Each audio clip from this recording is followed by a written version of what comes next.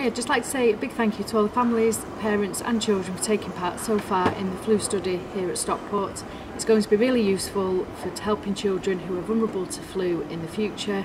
If you would like to take part, by all means get in touch with me at sara.bennett at stockport.nhs.uk. Thank you.